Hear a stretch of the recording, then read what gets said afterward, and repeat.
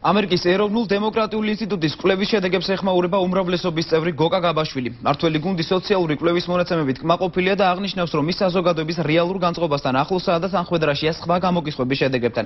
ნაციონალური მოძრაობა მიღებული შედეგების გაუმჯობესებას ამ მომრჩევლებთან აქტიური შეხვედრებით გეგმავს.